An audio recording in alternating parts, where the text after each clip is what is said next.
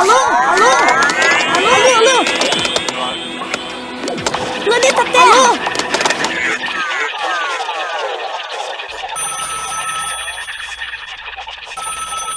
Alô. Alô, alô, seja muito bem-vinda. Começa agora mais um episódio do podcast Alô Ciência. Eu sou o Arnone. Eu sou o Caramelo. Eu sou o Marx. E eu sou o Lucas Andrade. Ótimo. Então hoje vamos falar de um tema tanto quanto necessário, eu diria, que é fome. Será que falta comida no mundo? Então ao longo do episódio acho que a gente vai trazer dados sobre esse problema. É, será que a gente precisa fazer mais comida? É, ou o problema é mais embaixo? Será que a gente tem comida pra todo mundo? É, será que precisa ter gente passando fome no mundo? É, né? Bom, antes da gente ir pro nosso episódio mesmo e começar a discussão, fazer aquela divulgaçãozinha das nossas redes sociais e a plataforma de contribuição financeira. Quem quiser colaborar conosco, pode colaborar no apoia.se barra alociência ou no patreon.com barra alociência. Você entra lá, você escolhe o valor que você quer contribuir financeiramente com a gente e ajuda nosso projeto a crescer e se desenvolver cada vez mais. Sério, um real, dois reais ajuda pra caramba. Se todo mundo desse um realzinho, todo mundo que ouve, seria maravilhoso. Também estamos nas nossas redes sociais, no Facebook, Twitter, Instagram, YouTube. Tudo lá você coloca barra Alociência e nós estaremos lá. Inclusive, YouTube a gente tá postando todo sábado um novo podcast lá. Todo sábado mesmo? Todo sábado mesmo. Eu já acabei de programar aqui, ó.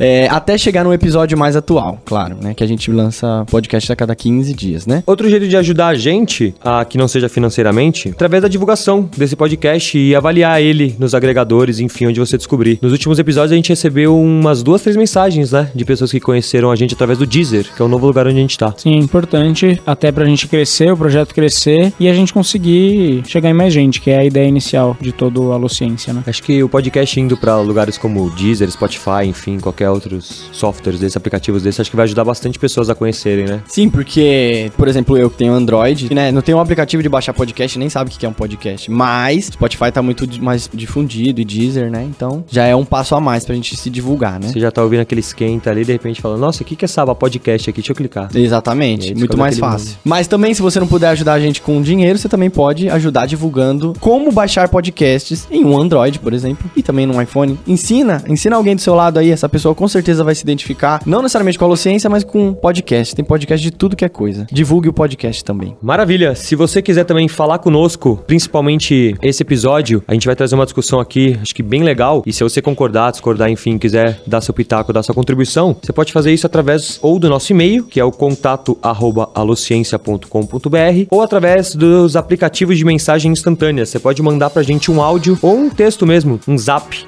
no número 11 94887 0901. Repetindo, 94887 0901. Tudo isso e muito mais você encontra no nosso site, que é o alociencia.com.br.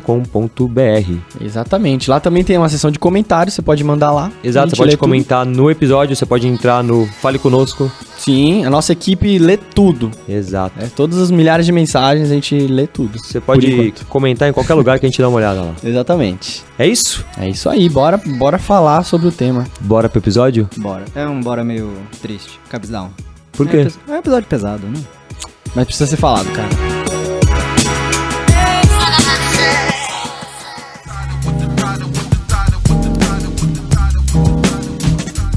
Um estudo publicado pela Organização das Nações Unidas para Agricultura e Alimentação, FAO, na sigla em inglês, no dia 29 de abril de 2016, mostrou que a produção mundial de alimentos é suficiente para suprir a demanda de 7,3 bilhões de pessoas que habitam a Terra. Apesar disso, aproximadamente uma em cada nove dessas pessoas ainda vive a realidade da fome. Embora os números absolutos estejam caindo, o tema ainda é um dos mais delicados da agenda internacional. A questão é tão antiga quanto complexa e se conecta intrinsecamente com a estrutura política e econômica sobre a qual o sistema internacional está construído. Concentração de renda e da produção, falta de vontade política e até mesmo desinformação e consolidação de uma cultura alimentar pouco nutritiva são fatores que compõem o cenário da fome e desnutrição do planeta. Eu comecei lendo esse texto, que na verdade está numa matéria que é uma matéria que a gente usou para se basear para fazer esse episódio, do jornal Nexo, escrita pelo Rafael Iandoli. O link dessa matéria vai estar na descrição. Eu tirei esses três parágrafos dessa matéria porque eu acho que eles explicam bastante e elucidam bem, acho que é a linha que a gente quer seguir nesse episódio, que é falar um pouco da situação de fome no mundo e por que que a gente tem fome no mundo. É, obviamente, nesses três primeiros parágrafos eu já dei um spoiler dizendo que a gente tem comida para o mundo inteiro. Mas vamos discutir então por que, que essa comida não chega em quem deveria.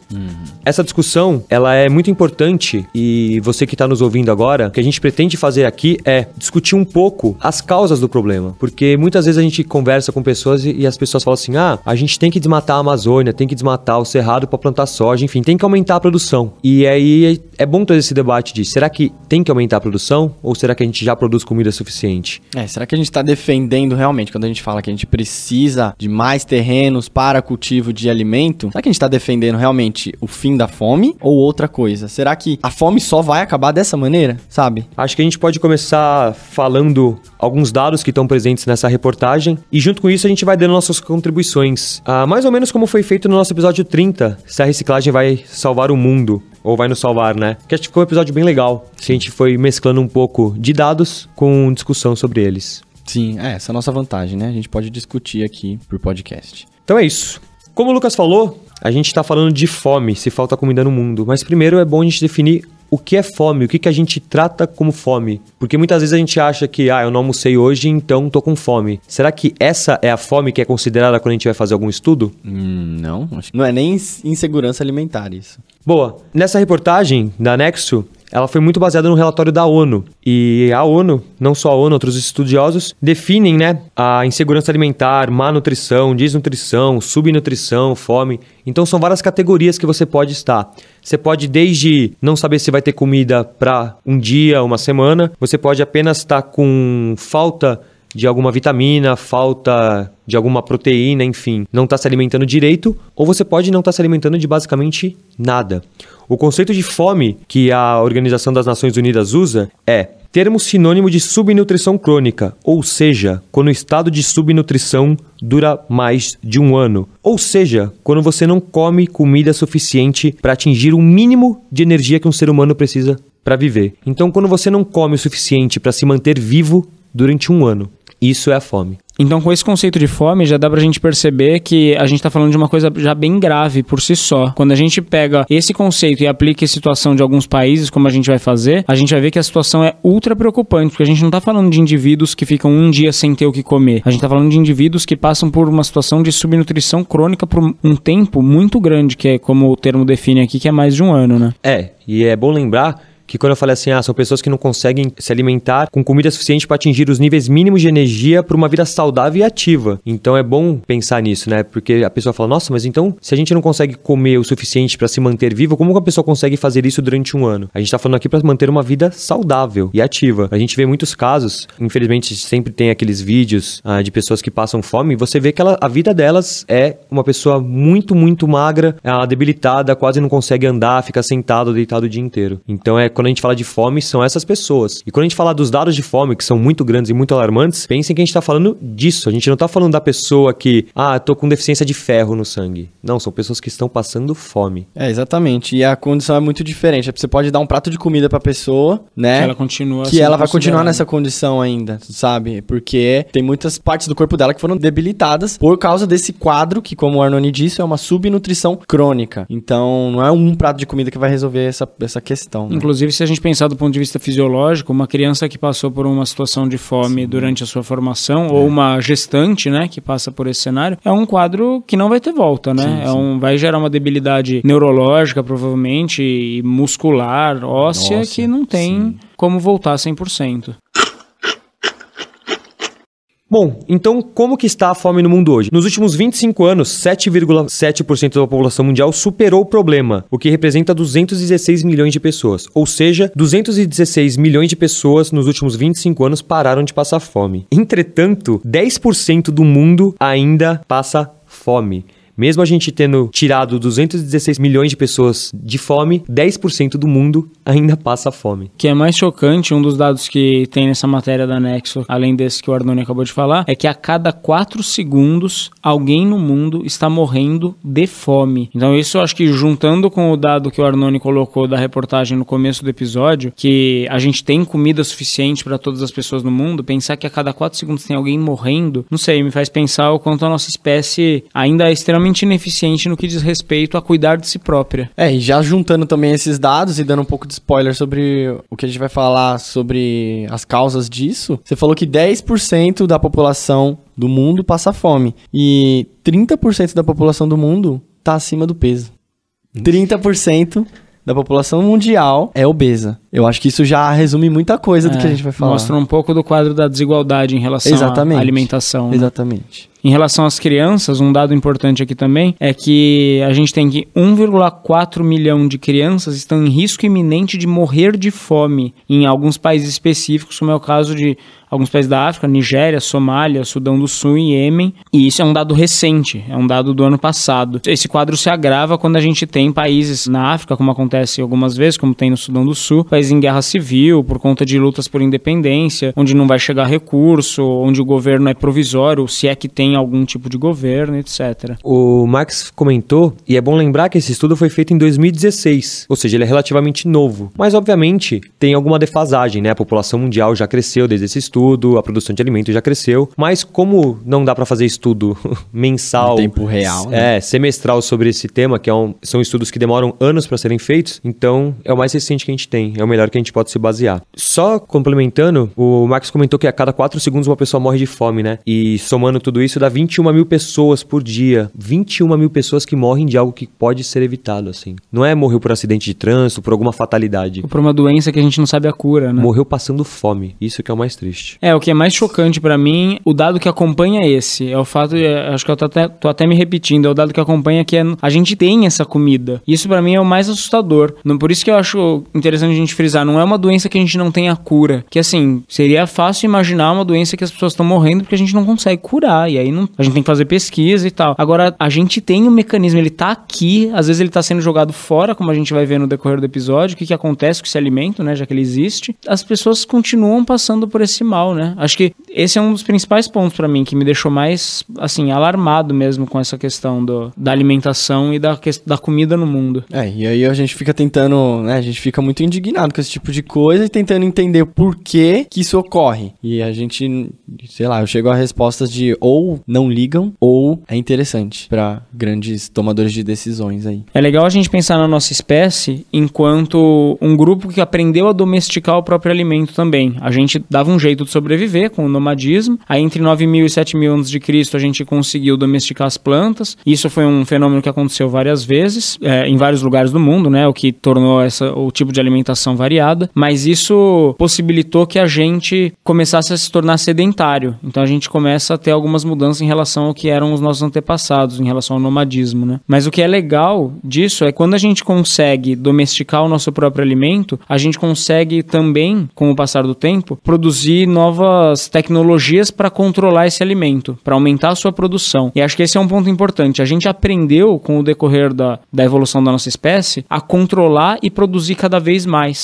Só que essa, essa produção gigantesca que a gente tem hoje, a gente não conseguiu dividir de alguma forma. A, a nossa evolução social, vamos chamar assim, a nossa mudança social com o passar do tempo, ela não permitiu que a gente estabelecesse uma organização a ponto de dividir o alimento, só de produzi-lo. Até porque, se você pensar evolutivamente, quem estocava mais alimento, né, era um grupo, o grupo que estocasse mais garantia melhor a sua sobrevivência em épocas de, sei lá, seca ou de frio muito repentino. Por isso que, sei lá, é, é bem esquisito pensar que e Antes você pegava da natureza e agora você consegue cultivar e guardar. Tipo, o que, que é guardar, né? Imagina pra um, sei lá, um, um animal guardar suas coisas. Tipo, Tem alguns animais Ah, é. que fazem um certo estoque, mas não é que nem a gente faz. Porque É, tipo animais que guardam, tipo, pra hibernar. Eles ingerem Sim. uma quantidade enorme de alimentos pra entrar em estado de hibernação, assim. Mas, pô, é, um- é um- uma coisa muito esquisita, né, na natureza. Tipo, De- sei lá, aranhas que guardam suas presas vivas nas teias. Até né, porque isso teria a ver com. De qualquer forma, o que difere a gente completamente das outras espécies é a questão que a gente conseguiu domesticar Uhum, as plantas, por exemplo, né? E, e mesmo os animais, a gente cria para ter o que comer. Então a gente deixa ali planta, davam melhores frutos e tal, a nosso bel prazer. E não só a gente cria, como a gente consegue criar, a gente corta, guarda numa caixinha, leva para um estabelecimento, leva lá no mercado, na feira. Porque às vezes eu converso com os meus alunos sobre essas questões e eles não conseguem conceber o fato da gente ter comida, a, a gente, eu digo, uma parcela da população ter comida fácil acesso, não foi sempre assim. Eles acham que desde sempre, ah, vai lá e compra no mercado. Sim. Não era assim, a gente tem que pensar, como o cara tá falando, evolutivamente. Os animais não pensam assim, ah, eu vou deixar essa presa passar aqui, porque quando eu tiver com fome eu vou lá no mercado e pego outra presa. Não existe Exatamente. isso. Então, pra eles é no momento, é na hora. Sim, por isso que a gente chama de revolução agrícola, quando a gente começou, né, a domesticar, porque foi um fator limitante para nossa espécie poder ter mais acesso à energia de uma maneira que não gaste tanto da nossa energia, né? Mas isso tem um trade-off, que é assim, a população cresceu, isso real, assim, a população humana cresceu muito a partir da revolução agrícola, mas a qualidade de vida dos indivíduos piorou. Então assim, enquanto espécie foi uma coisa boa, enquanto indivíduos foi ruim.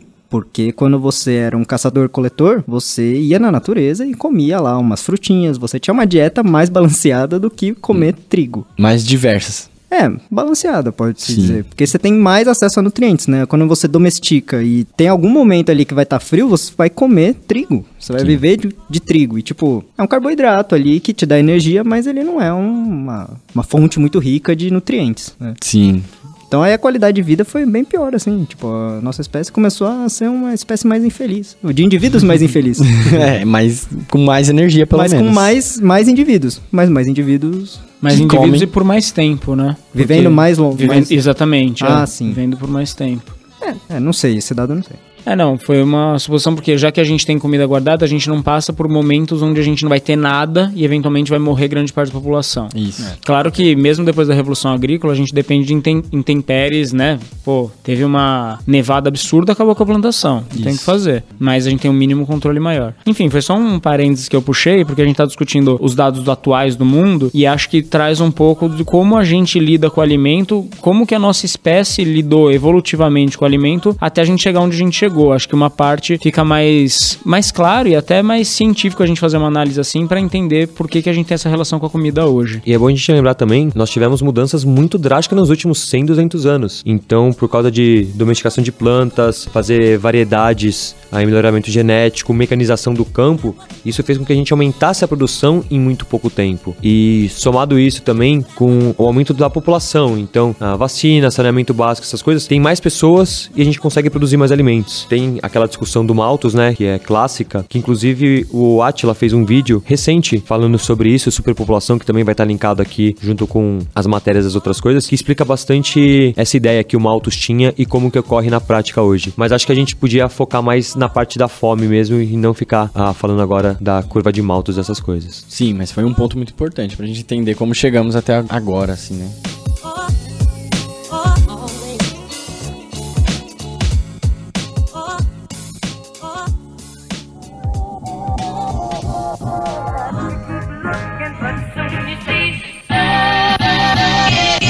Falando de pessoas, já que a gente citou o Malthus, acho que a reportagem da Nexo aqui destaca um negócio que eu achei muito interessante, que foi como que a gente mudou esse pensamento, porque antes a gente pensava assim, temos que produzir mais comida, a gente tem que abastecer mais as pessoas porque tem pessoa passando fome. E aí, em 1981, um indiano que chegou a ganhar o prêmio Nobel de Economia, eu não sei pronunciar o nome dele, mas su- é, suspeito que seja Amartya Sen, ele publicou um livro que chama Pobreza e Fomes. E ele chegou à seguinte conclusão: o problema não é falta de abastecimento, o problema é a concentração de renda. Vamos dar um exemplo mais ou menos do que ele pensou. Vamos supor que você tem uma região e antes as pessoas falavam assim: aquelas pessoas daquela região estão passando fome porque a comida não chega até lá. E ele começou a perceber que não era só por causa disso, que às vezes a comida chegava até lá, mas as pessoas não tinham acesso a essa comida. Por quê? Porque elas não tinham poder aquisitivo, elas não tinham dinheiro para conseguir comprar aquela comida. Se você trouxer para uma realidade hoje, a Rio de Janeiro, Rio de Janeiro tem comida. Ah, não vou usar o Rio de Enfim, qualquer cidade do Brasil, na verdade. Porque o Brasil é um país muito desigual. Você chega, ah, na cidade tem comida, tem pessoas que comem, obviamente, mas tem pessoas que passam fome.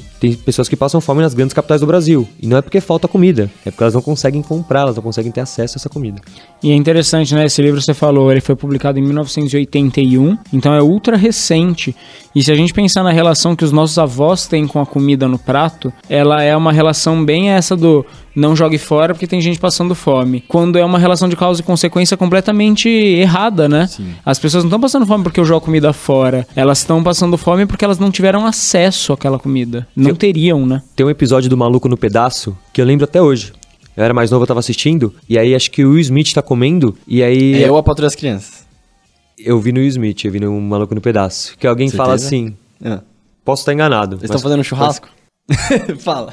Vamos ver. Ah, enfim, o Will Smith ou alguém, não lembro agora, não quer comer e alguém fala pra ele assim: Ah, você não tá comendo esse bife, mas tem pessoa passando fome. E ele responde assim: Se eu comer esse bife ou não, as pessoas vão continuar passando fome. Então, tipo, não é porque eu não tô comendo esse bife que as pessoas passam fome. Se eu comesse esse bife, a pessoa ia continuar passando fome. É, É, o que é legal que muda, né? Porque muda a relação. A gente não é que a comida é jogada fora e por isso as pessoas passam fome. Elas passariam fome mesmo se a gente tentasse comer toda essa comida. A questão é que ela não tem acesso porque a comida é vendida e você precisa de dinheiro para comprar comida. Sim. Mas vamos falar de uma outra coisa então, porque quando começa o episódio a gente fala tem comida suficiente no mundo pra abastecer todo mundo, a primeira coisa que a gente pensa é por que, que essa comida então não chega nas pessoas? Então vamos pensar o que, que acontece com a comida. Por que, que tem tanta gente passando fome? O que, que tá acontecendo com a comida? Por que, que tá acontecendo que a gente não consegue ah, chegar a comida pra todo mundo? Então vamos falar um pouquinho da produção. Começa com a produção. A gente produz comida. Atualmente, a gente produz comida no mundo para suprir 123% da demanda calórica. Ou seja, o mundo tem uma demanda e a gente consegue produzir acima dessa demanda. A gente produz 23% a mais do que o mundo precisaria para se alimentar. Basicamente, então, a humanidade precisaria de uma quantidade de calorias X e a gente produz 123% desse- de X. Isso. Precisaria de 100 a gente produz 123. Exato. Ótimo. Só que um terço dessa comida não é consumida. De alguma maneira, de toda a produção que a gente faz, um terço, ou seja, 1,3 bilhão de toneladas, não é consumida por alguma maneira. Então, a cada três tomates que a gente faz, um não chega de alguma maneira para o consumidor. De cada três cenouras que a gente planta, uma já não chega para o consumidor. Então, só no começo, assim, a gente já perde um terço da comida do mundo inteiro. Mas tipo de transporte, de apodrecimento. Ah, tem vários casos. Vários Desperdício. formas, né? Mas isso é antes do consumo, antes de alguém comprar. Exato. Não é que a Perde pessoa na comprou produção. e Ah, então- jogou fora porque Então nem é estragou. desperdício ainda. Isso, não. Isso é- a gente perde na produção. Tá. E aí tem outras, outros tipos de perda, como por exemplo a própria perda que eles chamam e o desperdício. Só, só um dado importante, assim, desse 1,3 bilhões de toneladas que o Arnone falou, 25% disso, se a gente pegasse e distribuísse, seria o suficiente para matar a fome de todo mundo no mundo. 23%? 25%. 25%. Então, um Do que é- quarto do que é perdido resolveu o problema de fome no mundo. Gente, é só ver fim de feira, né, gente? O que, que só Mano, ver? Mas, tipo, mano, tá morrendo uma pessoa a cada 4 segundos. Se a gente pegar um quarto da comida que é jogada fora, tipo, um quarto da comida que vira lixo, acabou esse problema. Vocês já foram no Ceasa pegar o resto de comida? Eu já fui lá e, tipo, mano, dá. Fui eu e mais sete amigos que a gente queria fazer um monte de marmita. Cara, todo mundo saiu, tipo, pegou o máximo possível de frutas que conseguia carregar, tá ligado? Sete caras, assim. É muita coisa desperdiçada, tá ligado? Porque por causa de um tomatinho que bateu, não, vou ter que jogar fora esse daqui, porque ninguém vai consumir um tomate que foi batido, sabe? Faz muito sentido esses dados que você falou agora, Arnone. E a gente vai ver que esse desperdício, essa perda muda de acordo com o lugar do planeta que a gente está. Mas só pra voltar, então a gente já perde um terço e essa perda pode ser, por exemplo, durante a produção, pode ser durante o transporte, pode ser por armazenar em local indevido, perdeu essa comida de alguma maneira antes de chegar pro consumidor. Chegou, podemos comprar a comida agora. Mesmo assim, a gente ainda tem um desperdício, ou seja, depois que a comida foi plantada, foi transportada, foi armazenada, esses dois terços que sobraram ainda são desperdiçados. Por exemplo, ah, você faz duas panelas de arroz para comer, come dois pratos e joga o resto do arroz fora.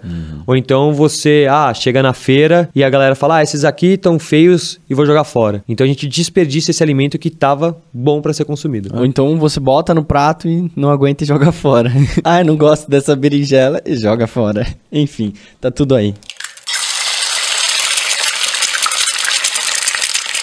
Acho que trazendo um pouco do que o Lucas tinha falado agora sobre desperdício de alimento, é bom a gente perceber que o desperdício e a perda, obviamente, eles ocorrem, mas ocorrem diferente. Se a gente pegar o desperdício que é feito por países ditos desenvolvidos, por exemplo, de europeus, norte-americanos, esse desperdício chega por ano de 95 a 115 quilos de comida. Então, pessoas europeias e norte-americanas desperdiçam de alimento 95 a 115, a 115 quilos de comida por ano. Isso cada pessoa. Isso, cada pessoa. Cada pessoa. Já se você for pegar dados da África Subsaariana e do Sudeste Asiático, a média por pessoa chega a ser de 6 a 11 quilos. Então, uma pessoa da Europa e dos Estados Unidos desperdiça 10 vezes mais alimentos do que uma pessoa na África. É, eu acho que isso daí dá pra mostrar que, assim, o desperdício vai ocorrer, né? Tem muitos processos, tipo, logísticos e tal, que não tem como, vai desperdiçar, o negócio apodrece. Mas é realmente escroto ver o quanto que é desperdiçado um em relação ao outro. E é louco porque você pensa assim, eles desperdiçam mais porque eles têm mais acesso à comida. Então, eles desperdiçam porque ele fala assim: "Ah, eu tenho oito bifes aqui frito, já era, sobrou jogo fora". Eles desperdiçam porque eles têm mais e porque pra eles não faz falta. Em compensação, nesses outros lugares, eles têm menos disponibilidade e o pouco que tem, eles querem aproveitar ao máximo. É, a quantidade tem um dado que casa isso que o Arnone falou, que a quantidade de comida não consumida em países ricos chega a 670 milhões de toneladas. E 40% desse alimento era em condições ótimas para ingestão. Um dado que vai muito, diz muito isso que o Marx falou também, é a diferença do tipo de perda. Em países desenvolvidos, 40% das perdas são de desperdício. Ou seja, pega um país rico, 40% da comida que um país rico desperdiça são comidas que estavam em perfeito estado e foram pro lixo de alguma maneira. Em países subdesenvolvidos, como a reportagem fala, isso representa só 5%. Só 5% da comida que estava em condições boas foi desperdiçada. É, tá sobrando, né, nos outros países, então é isso aí, mano. Realmente, gente. Cara, vai na feira e compra banana. Você vai ver que tem um stand do lado do da banana que eles vendem um saco que são com as bananas que soltaram da penca. É. E ao mesmo preço e vem o dobro de banana. Aliás, Só porque ele soltou da penca. Eu ia soltar de qualquer jeito. Exatamente, já facilitou a vida. eu vou fazer um, um parênteses muito X, mas existe um tipo de vegetarianismo que se chama friganismo. Ah, não. Que é justamente que pega os restos de feira, restos de ceado. Não, se liga, rapaz. Tem, é, o negócio é bem embasado. Mas enfim, é só uma. Eu vi é, é, é, são pessoas que, dentre várias outras atitudes, é, pegam os restos que o sistema faz em relação ao alimento. Então, tipo. E se alimenta única e exclusivamente desses restos. Não, não, não, Ah, exclusivamente. Pelo que eu entendi, não é Então exclusivamente. eu retiro a minha crítica. Entendeu? Até Eu- porque arroz não, não rola resto É. assim em feira, né? Tudo bem. Eu, enfim, no Facebook, quando você vai passando no Facebook e sempre alguém compartilha algo, não lembro em que país que era, se é no Brasil ou não, mas parece ter um mercado, não sei se era uma estratégia de marketing também, mas é um mercado só de comidas feias. Ou seja, comidas que estão boas, mas elas são visualmente feias. E eles vendem isso lá pra mostrar, galera. Nossa. Isso é bom, só que você- a pessoa não compra porque fala assim, ah, tá manchadinho aqui ou tá desse jeito. Sim. Isso causa É, grande desperdício. isso é um capitalismo tentando ganhar dinheiro no que ia ser jogado fora, né? É, reciclagem. Vamos do- da ser- comida. É, reciclagem de E uma coisa que o capitalismo é bom é fazer dinheiro com coisa que não fazia Botar antes. valor em coisa que não tem valor. não tem valor nenhum. Ou que tem, mas não sabiam. Né?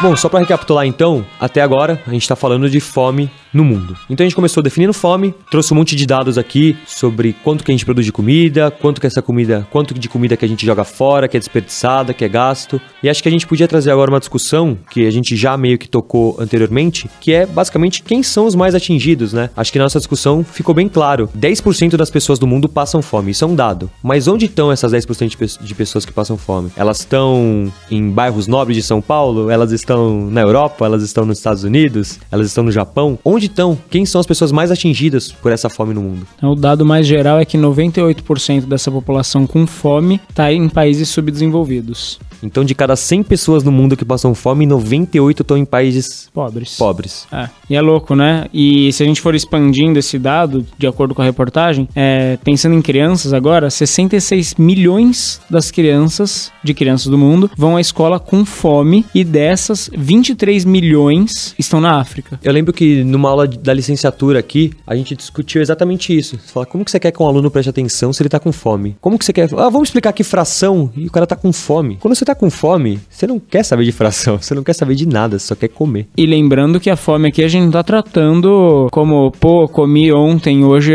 é aquela condição de subnutrição que a gente definiu no começo do episódio. Ou seja, é muito mais grave do que, pô, hoje eu tomei só café da manhã. Ela tá constantemente com fome, Aliás, ela tá numa situação crônica de um ano pelo menos, né? passando É um fome. absurdo. E aí esse dado fica mais grave quando a gente pensa em situação de mulheres, porque da população toda que passa fome, 60% são mulheres, por conta do acesso restrito que tem a animais e terra, semente, fertilizante, dificilmente conseguem financiamento para lavoura, para suas próprias lavouras. E aí pensa, se 60% da população que passa fome são mulheres, esse é um problema que vai ser ainda mais agravado quando a gente pensa na questão das gestantes, porque são as mulheres que ficam grávidas. Se a maior parte das pessoas que passam fome são mulheres, a gente vai ter uma série de problemas relacionados aos bebês que virão para o planeta ainda. Então assim, é um problema que só se aumenta, só vira uma bola de neve, né, dentro dele mesmo. E esse dado, inclusive, ele fica mais grave quando a gente pensa o seguinte: metade das mulheres grávidas em países em desenvolvimento apresentam problemas de anemia, o que vai gerar 110 mil mortes durante o parto por ano. Então, assim, aí já, a gente já tem um problema que está relacionado, na verdade, ao parto por conta da má alimentação e de um problema de fome. E é louco pensar isso também, além, obviamente, do impacto social e ético, tem também um impacto econômico, o desperdício de alimento e as pessoas passarem fome. O fato da gente produzir alimento e um terço desse alimento ser destruído, ou ser, enfim, não ser aproveitado, isso causa ah, um impacto econômico. Eles estimam que 750 bilhões de dólares são gastos com comida que não vai para a boca de ninguém. Então você gasta 750 bilhões de dólares jogados fora. É uma comida que não vai para ninguém. Nossa, muito triste isso, velho. Sério. Esse episódio tá pesado, gente. Tá? É difícil falar um episódio, né? Tentar ser otimista quanto a isso. Mas no, no nosso episódio sobre agrofloresta, a gente falou sobre isso. No nosso episódio sobre vegetarianismo, sobre abelhas, a gente esbarrou na fome a todo momento. E falando que, né, ao querer proteger abelhas, a gente também indiretamente está protegendo a, a população da fome, né? A gente está defendendo o fim da fome ao ser vegetariano, ao defender agroflorestas. Mas no fim das contas, no mundo perfeito, onde as abelhas vão continuar aqui, onde as agroflorestas vão estar, vão estar bem respeitadas e bem produtivas, onde muitas pessoas vão reduzir o consumo de carne e etc., ainda assim as pessoas vão passar fome. E isso é, assim, por isso que eu tô falando que tá sendo pesado esse episódio, porque por mais que a gente pense em soluções da gente utilizar melhor o nosso espaço e produzir mais comida, esse problema ainda vai estar tá ocorrendo, sabe? A gente se sente o quê? Um nada no meio disso tudo. É muito É. triste isso. E é legal pensar exatamente nisso que o Lucas falou, porque até um tempo atrás, esse era o pensamento, inclusive no Brasil, muitas pessoas defendem isso ainda. Fala, gente, tem gente que passa fome, então tem que aumentar a produção, tem que plantar mais, tem que colocar mais gado, mais frango no mundo, tá? Tem gente passando fome, vamos dar comida para essas pessoas, vamos aumentar a produção. Só que os dados estão mostrando, e o que a ONU chegou à conclusão é, não adianta aumentar a produção, a gente tem que distribuir melhor essa renda. As pessoas só passam fome porque elas não têm dinheiro para comprar. Então o que a gente precisa fazer? Dar dinheiro para as pessoas, distribuir melhor essa renda, diminuir a desigualdade social. E é, é- é louco, né? Porque a gente teve toda uma discussão do Código Florestal. Vou deixar linkado o artigo que o Jean Paul fez sobre as bases científicas do Código Florestal. Jean Paul, que foi um, é um professor aqui da USP, que ele foi um dos grandes responsáveis, né, por fazer barulho contra ah, as mudanças do código, né? Exatamente, as mudanças do código que foram propostas pelo Aldo Rebelo, com esse discurso que o Arnone falou, que era para produção de comida para as pessoas, etc e tal. Mas já tá mostrado que é isso, a gente precisaria distribuir renda. E a, a gente vivia todo um conflito, toda uma história aí que, ah, vamos distribuir esse alimento, vamos distribuir, vamos fazer doação de comida e tal. Mas o problema maior, galera, e a gente tá chegando num ponto onde não dá mais para se enganar, é que a gente precisa distribuir renda. Enquanto a gente tiver um cara ganhando bilhões de dólares por ano e pessoas vivendo com um salário mínimo brasileiro, ou pessoas que vivem com menos de um dólar por dia, a gente não vai conseguir combater a fome. A questão é a seguinte: dá para distribuir renda no sistema que a gente vive hoje? Não sei. Se pá que não. Ah, de- distribuir entre aspas dá. Que foi o que aconteceu nos governos atrás aí, né? é- Distribuiu um pouquinho, mas não é uma distribuição de renda de fato. Exato, mas tudo bem, a gente distribui renda. Começa a distribuir, alguns países ascendem. Vamos supor que o Brasil tivesse numa situação melhor. A distribuição de renda que começou há uns anos, ela se, se sustenta melhor, se concretiza de uma forma melhor. Mas isso significa que no resto do mundo a gente vai conseguir fazer coisas iguais? Porque a questão pra mim é a seguinte: é, o desenvolvimento ele é, ele é desigual ao mesmo tempo que ele é combinado. Então, mesmo tendo um país que consegue se desenvolver melhor, a gente vai ter os países na situação dos países africanos, por exemplo. Então, ou a gente pensa em uma unidade do planeta, ou a gente não vai resolver o problema da fome. A gente pode resolver o problema da fome no Brasil. Vamos ser otimistas. Vamos supor que a gente consiga. Só que, se a gente pensar em distribuições de renda mais ou menos, como, como as que são possíveis hoje, a gente não vai resolver o problema da fome no mundo. E aí depende do que a gente quer, assim. Tem- A gente pode pensar em resolver do nosso país, mas lembrando que um país é só um pedaço de terra que alguém cercou e colocou uma bandeira. Mas já que você falou do Brasil, eu vou trazer um pouco os dados do Brasil, então. Nos últimos anos, o Brasil conseguiu sair do mapa da fome pela primeira vez, em 2014. A gente não fazia mais parte do mapa da fome da ONU. Sair do mapa da fome é ter menos de 5% da população do país em estado de fome. E aí chegaram. Por que, que a gente saiu do mapa da fome? Porque entre 2001 e 2013, nesse período, a extrema pobreza do Brasil caiu. Então, se diminuiu o número de pessoas em extrema pobreza, diminuiu o número de pessoas em- com fome. Porque se elas começaram a ter um pouco mais de dinheiro, elas conseguiram comprar comida. Então é exatamente isso. E aí a ONU aqui tenta buscar motivos pelos quais isso aconteceu, e um dos motivos que ela fala são os programas de desenvolvimento social, como Fome Zero e Bolsa Família. Ou seja, você vai lá e dá dinheiro para uma pessoa, ela pega esse dinheiro agora ela consegue comprar comida. É nesse ponto que nosso ouvinte tá falando. Ai, petralha! Ah, esquerdopata. Calma, gente, a gente tá pegando dados da ONU. ONU. ONU. ONU. Vou falar ONU aqui, ONU é mais forte. Ação das Nações Organizadas. Estamos pegando dados da ONU, certo? Se você quiser, vai nesse link, leia, certo? Por favor, leia. Se tiver um contra-argumento aí que quebre o que a gente tá falando aqui, por favor, traga pra gente. Mas assim, a gente não tá tirando isso de uma pauta de um partido. A gente não tirou isso do site do PT. Exatamente. É, não tá o? Lula aqui do nosso lado falando É, isso. Até porque. Mesmo que ele tá preso. impossibilitado agora. Exatamente. Mas estamos jogando com dados. Por favor, não seja simplista nessa dualidade entre esquerda e direita. Por favor, vamos debater aqui. É, aliás, mais do que isso, seja científico na hora de fazer um debate, né? Use dados, use evidências, etc. que é o que a gente está tentando fazer. Com todas as críticas que a gente tem ao governo Lula, e acho que a gente nunca mascarou nenhuma delas. Pelo contrário. Inclusive, a mudança do Código Florestal, do Aldo Rebelo, foi durante o governo dele. É. Então tem vários problemas, assim, gravíssimos. Mesmo no que diz respeito a isso, a, a bancada ruralista e tal. Mas jogar com dado é extremamente necessário quando a gente tá falando de ciência. Aliás, é uma condição, né? Então não venha me dizer também, em contra-argumento, que, ah, mas a ONU é comunista. Para.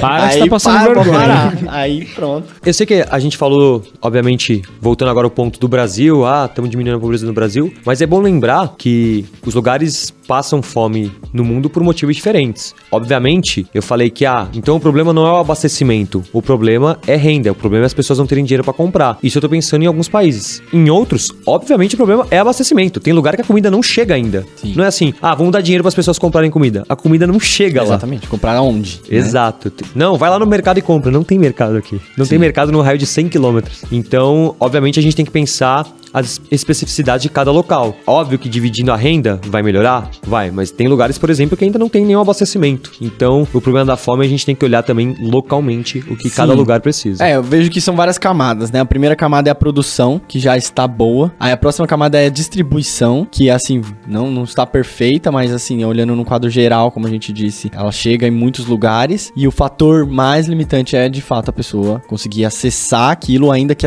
o alimento chegue na cidade dela. Aproveitando isso que o Lucas falou, a ONU, ela divide em três grandes partes, assim, as políticas, que são as políticas locais, que é exatamente isso, pensar no seu local o que está acontecendo. Políticas específicas, que são assuntos relacionados à garantia de que as pessoas terão comida, mas estão dentro dessas políticas gerais. E políticas gerais, que ela pensa em, por exemplo, ela cita no documento dela, que a gente tem que melhorar a política social como um todo no país, inclusive fazendo reforma agrária e tendo políticas de incentivo à agricultura familiar. Então ela pensa desde o local até o Brasil como um todo. Falar, pessoal, a gente só vai melhorar a situação se tiver reforma agrária, se tiver políticas sociais pensando nisso.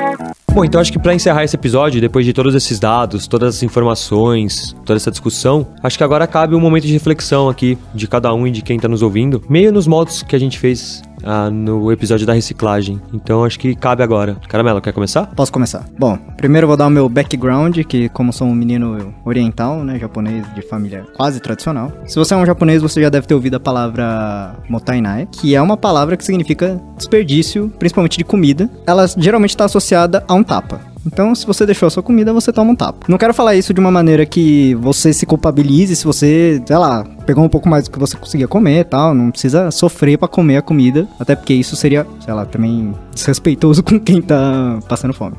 Mas, pensar um pouco nessa questão do que a gente discutiu por aqui, de você enquanto parte dessa economia, né? Vamos, vamos pensar que você tá lá no mercado. Se você compra muito mais do que você vai consumir, você tá gerando uma demanda maior e, quizás, aumentando um pouco aquele valor. Pode ser ínfimo na relação com o sistema como um todo, mas querendo ou não, tá influenciando. Então, sei lá, é só, só uma questão de bom senso, sabe? Não, não joga um milhão de tomates que você comprou só porque tava, tava barato. Tipo, ah, tinha ba tomate barato, comprou 3 kg de tomate, sendo que você não come tomate. Não precisa, né? Não faz isso. Ou se você for descartar, sei lá, faça uma composteira e depois jogue a terra no, de volta pra terra, não, não gera mais lixo, porque também isso da terra não, não tá voltando, tá piorando tudo, rapaz. É. Você fala isso, é, muita gente fala, né? Ah, você é vegetariano, mas o que acontece quando alguém te dá um salgado e você come sem querer, um pre tem presunto no meio? Você joga fora? Fala, mano, eu tenho uma regra que tá acima do vegetarianismo, que é eu não desperdiço, tá ligado? Se eu comer um negócio sem querer com carne, ou eu dou pra alguém, ou, mano, eu como o bagulho até o final, mas jogar no lixo, eu jamais farei isso, sabe? Então, eu concordo demais com o que você falou, demais mesmo, velho. Acho que é isso. Da minha parte agora, já que o Caramelo também pegou de, do contexto dele, eu também gostaria de pegar bastante do meu contexto, né? É, pra quem não me conhece, meu nome é Lucas e eu venho do Grajaú.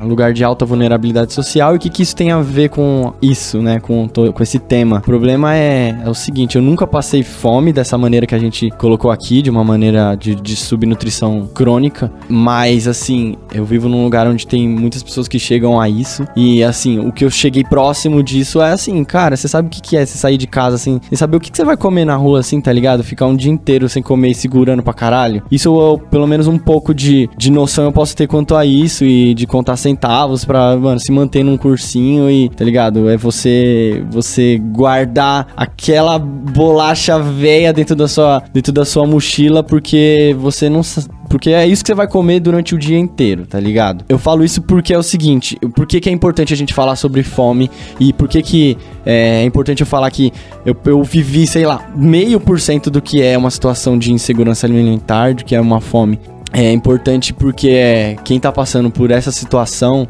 não tá aqui, não tá com esse poder de voz que a gente tá, essa pessoa não tá não tá nem em condições de poder se defender. A gente tá defendendo pessoas que tá, tá em situações que a gente não passou, mas eu posso ver que eu cheguei muito próximo disso e eu consigo, é, no mínimo, ter uma causa a defender quando a gente chega à conclusão de que porra, essas pessoas estão passando fome, não é porque falta alimento, é falta de boa vontade, sabe? Então, fica aqui porra, eu consegui me salvar disso, tá ligado? E quem não conseguiu se salvar, não tá conseguindo nem se defender e não tá com esse poder de voz que a gente tem nesse momento. Bom, enfim, é só essa, esse lado. A gente falou bastante de dados aqui, falou talvez esse lado mais é, sensitivo mostre o que, o que tá por trás disso, muito além dos, das porcentagens que a gente falou aqui, certo? Então é isso aí, gente. Vamos olhar por isso. Bom, acho que foram duas ótimas falas eu sempre fico pensando o que, que me motiva a fazer cada episódio, né? E eu lembro que quando eu trouxe essa ideia de fazer um episódio sobre a fome, eu pensei, por que, que a gente vai falar de um tema tão pesado? Vai ficar aqui uma hora falando sobre pessoas que morrem porque não têm o que comer, morrem porque estão passando fome. E aí, acho que uma das coisas que mais me mobilizou a, a tentar levar esse episódio para frente é o seguinte: acho que no nosso mundo, uh, muitas vezes a gente é enganado e muitas vezes a gente não combate as verdadeiras causas. Então acho que é, é importante a gente saber qual é o nosso problema. Porque, por exemplo, eu espero que daqui para frente, quem tá nos ouvindo agora, quando ouvir novamente, ah, a gente tem que plantar mais porque tá faltando comida no mundo. Acho que essa pessoa pode parar agora e falar assim: a gente não precisa plantar mais. Tem comida no mundo. O que a gente precisa é distribuir melhor essa comida. Então, a partir do momento que a gente sabe a causa do nosso problema, a gente pode de fato enfrentá-lo. Porque se a gente não sabe a causa, a gente destrói a Amazônia, destrói Cerrado, destrói o mundo. Planta comida em todo, todo espaço, um centímetro que tem, planta uma comida lá. As pessoas vão continuar passando fome. Porque a causa não é a produção, a causa é a distribuição. Então, isso foi o que mais me motivou a fazer esse episódio.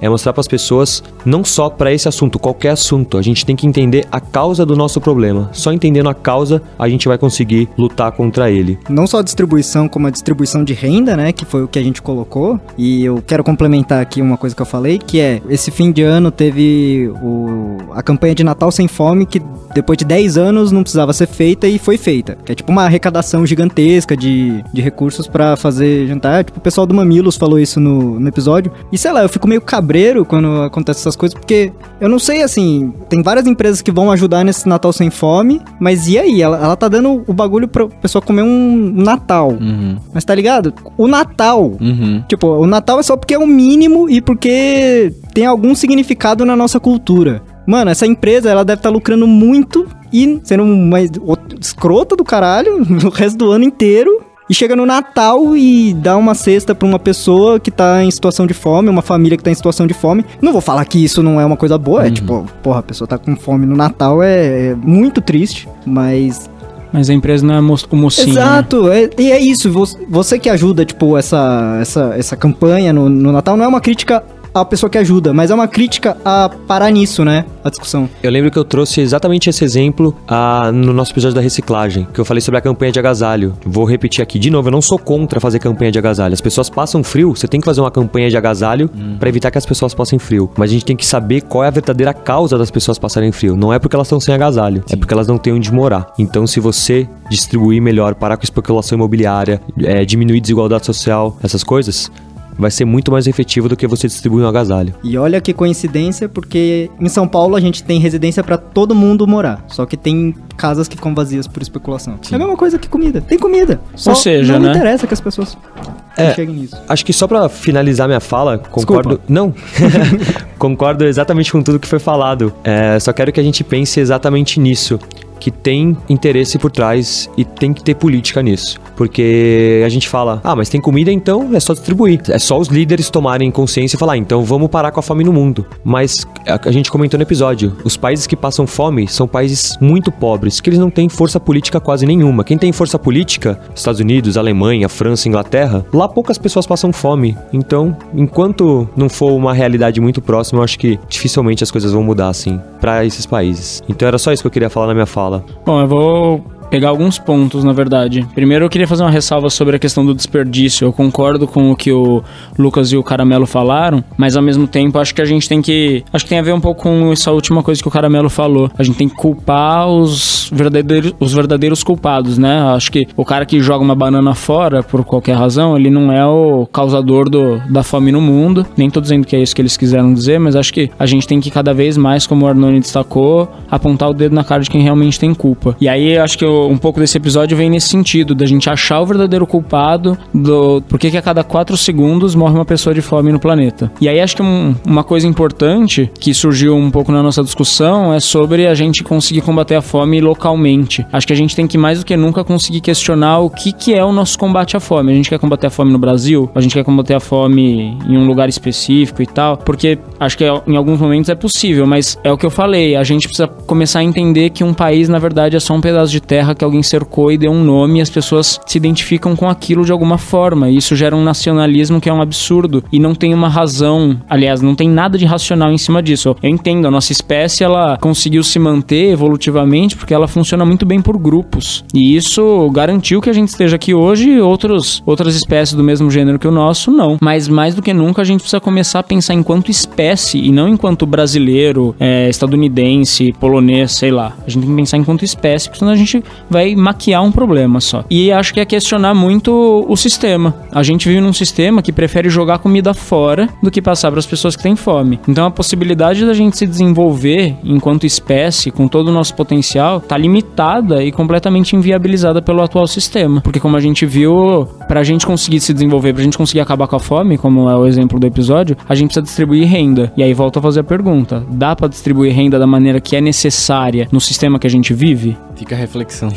Acho que depois dessas falas nossas aqui, deu pra fazer uma boa reflexão. Espero que você que esteja nos ouvindo agora faça uma reflexão também sobre o seu estilo de vida, ou sobre os problemas do mundo, ou sobre quem você acha que, enfim, o que, que a gente tem que fazer pra tentar melhorar esse cenário. O importante é fazer a gente pensar e fazer a gente tentar identificar as causas dos nossos problemas. O importante é fazer a revolução. E a próxima vez que você pensar em criticar Bolsa Família, reouve esse episódio. Só isso. Não falando que Bolsa Família é uma maravilha, mas é o mínimo. É o mínimo. É tipo, é, é o mínimo. É, é horrível, mas é o mínimo. E a gente reclama de dar o mínimo para as outras pessoas, né? Foda, né? Cara, a gente reclama de ter uma política que é o mínimo. Tipo, eu fui muito longe falando assim, mano, vamos se enxergar enquanto espécie, ver o mundo e tal. Mas a gente reclama do Bolsa Família. Ah, cara, É o mínimo. Isso é tipo. você não tá fazendo nada. Você não tá distribuindo renda de nada. É. Você tá dando. Você tá garantindo que as pessoas sobrevivam. Isso. E aqui na, na entrevista aqui do cara do, do Natal Sem Fome, mano, cortaram um milhão e 100 mil reais de benefício do Bolsa Família. E isso foi o suficiente pra, tipo, agravar o estado da fome no Brasil. Tipo, é um milhão e 100. Um milhão e 100. Isso deve ser a arrecadação de um dia de, um- da Renner. É, né? Tipo, pelo amor de Deus. Bizarro, cara. Bizarro.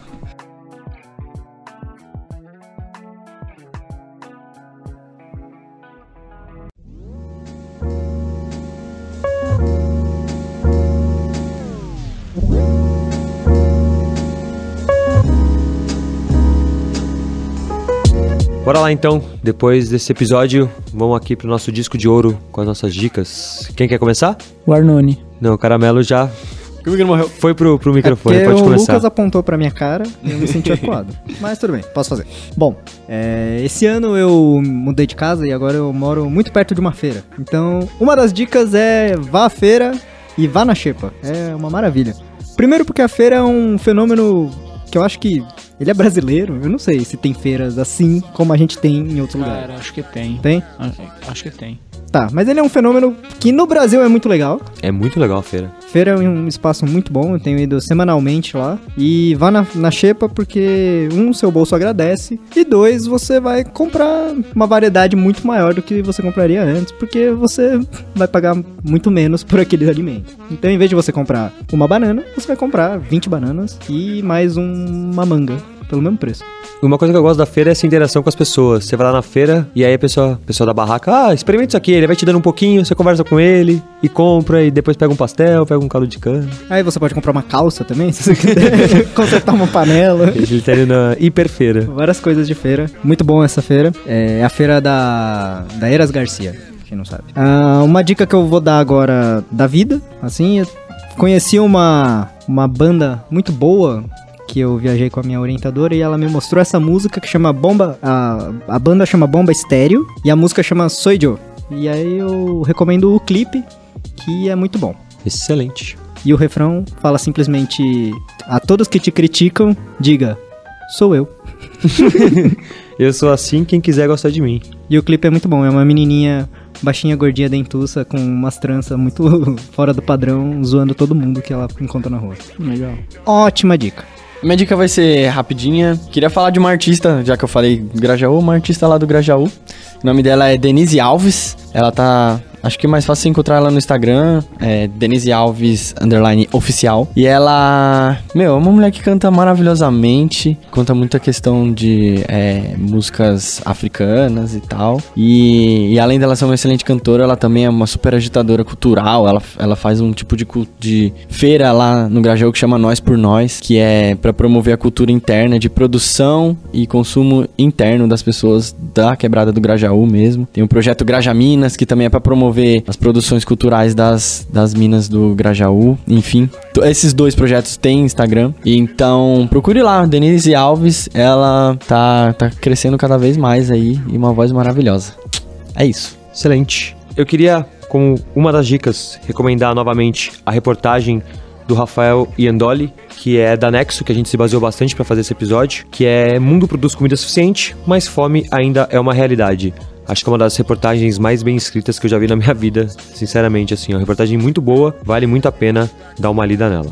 Uma segunda dica que eu quero dar é um vídeo, ah, na verdade é um canal no YouTube que é do Museu de História Natural Americana. E ele tem vários, são vários vídeos muito legais e um chama Human Population Through Time. Basicamente vai mostrando o crescimento da população mundial ao longo do tempo. Então tem uma linha do tempo gigantesca no, embaixo da tela e vai mostrando como que a população mundial foi crescendo. Esse canal é muito legal. Tem como que são eram os países ou estados-nações. Então tem sempre um mapa mundial e aí vai um monte de tabela e gráfico subindo e aparecendo. É muito legal esse canal do Museu de História Natural Americano. Vale muito a pena esse canal. É tão legal que o Marcos parou de prestar atenção na gravação e abriu o canal e tá assistindo um vídeo. Eu tô vendo um vídeo sobre como a religião se espalhou ao redor do mundo com o tempo. Nossa, É é muito muito, legal. legal. Não, esse canal, sério, pessoal, Tá entrem bonito. aqui é? e clica, clica no, nesse canal do Museu de História Americana. É muito legal, é muito legal mesmo esse canal. Eu passei um tempão vendo vários vídeos deles. E uma última dica mais a la caramelo é basicamente, ah, eu sei que a gente falou aqui que a gente não deve, obviamente, só colocar a culpa no indivíduo de despertar alimento, a gente tem que ver as grandes empresas que desperdiçam bastante. Mas eu, quando comecei a cozinhar, eu percebi que eu desperdicei muito mais comida, porque quando você cozinha, você se aproxima mais da sua comida e você usa coisas que antes você não usava. Um exemplo mais tosco assim é eu não usava muito o talo do brócolis, eu usava só mais a, a própria florzinha, vai, vamos dizer assim, do brócolis. Aí eu comecei a cozinhar e aí sobrava aqueles talos, sei lá, o que, que dá pra fazer? Aí comecei a ferver, fervi bastante, aí amassei e virou um purê. Virou um purê de talo de brócolis e foi uma das coisas mais gostosas que eu comi. Então, dá pra aproveitar a comida ah, melhor assim. Então, se você cozinhar, você vai desperdiçar menos comida, eu acho. Talo de couve é ótimo pra quê? Pra co- complementar a farofa que toda couve pede. Boa. Exatamente. A fibra ali, pá, dar aquela sustância. Exato, só que você tem que. A, a questão é que você não consegue fazer junto com a folha, porque a folha cozinha muito antes. Então, se você cozinhar o talo junto com a folha na mesma frequência, ou a, Um ou a folha. mole. ou a folha derrete, ou o talo fica duro. Então você corta e fa- faz diferente. Ótimo. Bom, a minha dica vai pra alimentar a raiva que as pessoas têm ou deveriam ter do sistema. Eu vou sugerir um filme que não é novo, que, mas que eu vi há pouco tempo, como sugestão do Arnone, que é o Lobo de Wall Street, onde o cara, o Leonardo DiCaprio faz um papel de um babaca e às vezes ele é tido como herói porque as pessoas não entenderam direito. Basicamente, essa é a minha, minha mensagem pro pessoal, viu? Valeu, galera. Não, mas acho que. Bom, não é. Não quero ficar dando spoilers, nada. Mas acho que ele passa pela mesma coisa que passou Tropa de Elite e passam outros filmes assim. Acho que a pessoa que quis fazer, quis fazer uma crítica, só que as pessoas que assistiram às vezes não entenderam a crítica e levaram essas pessoas como heróis. Eu queria dizer que eu achei o podcast que eu queria. Fala sobre Infelizmente já acabou o quadro. Ah, Acabou. Vamos pra caixa de Tempo mensagens? esgotado. Não, ó, lembrei de outra recomendação que eu queria dar. Já que o Marx achou estranho essa ideia de friganismo, pra vocês que querem saber um pouco mais sobre friganismo, tem um podcast. O nome é Ouvindo Abobrinhas. Ele fala sobre veganismos e tal. E tem um episódio, que é o episódio 8, que o nome é Friganismo e Ecologia com Andrei Sanson. É o nome do cara que eles chamaram pra falar sobre isso. E aí ele passa toda, todo o esquema e tudo que eu sei sobre veganismo é desse podcast, ok? Então, ouve lá, eu acho super curioso, assim, que não é só a questão alimentícia, mas também a questão econômica. Ele também fala sobre fazer hortas comunitárias, fazer feiras de trocas dentro do seu bairro, você reduzir o consumo e, e fazer a produção, sua casa ser mais autossustentável e tal. É, é uma ideia, tipo, que você pode, por conta própria, fazer algumas ações que ele fala que pode mudar a sociedade como um todo um dia, mas, assim, você pode fazer despretensiosamente. Dá, dá uma ouvida, acho super da hora, assim, ouve. É bonito. É um Ah! capitalismo humanitário. que capitalismo, não envolve nem dinheiro. Não, eu acho que assim, eu acho que o fato, como o Tom falou, Tá mais ah, perto da, gente, anarquia. da gente tentar fazer uma sociedade melhor que um dia talvez a gente consiga chegar. Cara, eu acho essa ideia muito bonita. Eu só espero que o mundo consiga viver tempo bastante pra gente conseguir chegar nesse lugar. Sim. Não, ô, ô, Lucas, eu tô brincando, eu vou ouvir mesmo. Ouvi, ouvi Eu sim. tô só criticando pra te encher o saco. É a crítica pela crítica. é, crítica pra... Bom, Chega. bora pra caixa de mensagens? Bora. Vamos. Bora.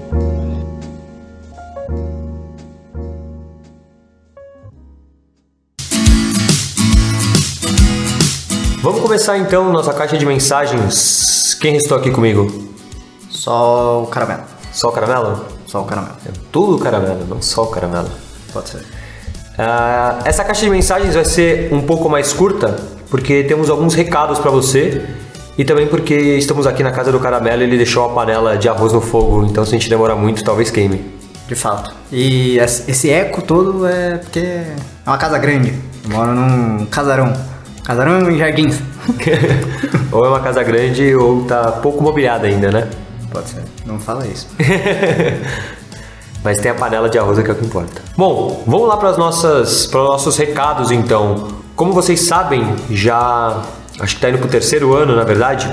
Temos o Pint of Science, que é um evento que agora está pelo quase pelo Brasil inteiro, começou na, na Inglaterra, que é um evento basicamente onde cientistas se reúnem para falar de ciência em algum bar. Então, se você estiver por aqui por São Paulo, Na verdade, entra no site do Pint of Science, tem várias cidades que vão participar. Nós da Luciência vamos participar, estaremos em São Paulo. A gente vai estar onde, Caramelo? A gente vai estar no Cerveja Artesanal São Paulo, na rua Paracuê. Paracuê. Paracuê. 141 na Sumaré. Excelente. Então, lá nessa cervejaria artesanal de São Paulo, vamos estar fazer uma apresentação no dia 15 de maio, que a gente vai falar um pouco da divulgação científica como ferramenta política. Acho que é um tema que a gente sempre aborda aqui, né? Como que a ciência e a política têm tudo a ver, apesar de algumas pessoas ainda tentarem separar essas duas áreas, elas estão muito interligadas. A gente conversa bastante aqui sobre a marcha pela ciência, sobre a situação da ciência no Brasil, fizemos até episódio sobre isso. Então, vai ser legal conversar um pouco sobre esse tema. E a gente já foi visitar e tem belas cervejas. E eu não tomei a cerveja, mas eu tomei, comi um belíssimo hambúrguer. É, o espaço é muito legal, vale muito a pena ir. Se você não quiser ir pra falar com a gente, trocar uma ideia, ouvir a gente falar, vai pelo menos pelo espaço. Tem jogos lá. Jogo de graça, boa. Então estaremos por lá no dia 15, mas teremos atividades nesse mesmo bar no dia 14, no dia 15, 16, 17 e 18. Ah, na postagem aqui do nosso episódio vai estar o site do Pint of Science, então vão ter em dezenas de cidades e em São Paulo em dezenas de locais. Então certamente vai ter um- uma atividade que vai te interessar. Se você quiser ir na nossa, ficaremos felizes de encontrar ouvintes lá. Só aí, dia 15 de maio é que dia da semana mesmo? Só pra eu me agendar aqui também. Dia 15 de maio é exatamente uma terça-feira. Terça-feira, dia 15 de maio. Você chega lá e estaremos conversando sobre divulgação científica como ferramenta política. O horário é por volta das 7 horas, 7 e meia tá marcado, na verdade, mas chega antes para garantir o seu lugar lá no Gargalo, perto da gente. Lá na, na grade. Na grade. Boa, se informe mais então sobre o Pint of Science. Vai estar tudo na nossa postagem aqui. E nas nossas redes sociais, sigam lá no Barra Luciência. Outra coisa que eu queria falar é que nosso grupo de transcrição está a todo vapor. A galera da transcrição já fez alguns episódios e estamos caminhando bem. Queria então aqui agradecer no nosso episódio porque eles estão mandando ver, eles estão se organizando por conta própria, assim. Então é bem legal. A gente deu o pontapé inicial, eles mostraram interesse e eles estão se auto-organizando e fazendo tudo por conta. Então, galera da transcrição, muito obrigado. É um sonho antigo, um sonho que estava engavetado e que finalmente pudemos tirar de papel. E que só é possível graças a eles. Exatamente. Até porque eu não ajudei muito a transcrição. Na verdade, não ajudei nada. Então, muito obrigado, galera. Mas é o lema que eu tenho desde os tempos de graduação, lembra, Caramelo? Que é, se todo mundo ajudar um pouquinho, Que Darwin falou. Exato. Se todo mundo ajudar um pouquinho, não sobrecarrega ninguém. Então, de fato, a transcrição é uma coisa trabalhosa, não é fácil. Mas se cada um transcrever que seja 5 minutos, ótimo. A gente transcreveria e deixaria nossos episódios um pouco mais acessíveis. Isso aí. Pint of Science, transcrição. E, pra não falar que a gente não leu nenhuma mensagem das que a gente tem recebido, ah, vamos ler aqui a da Fernanda Celeri.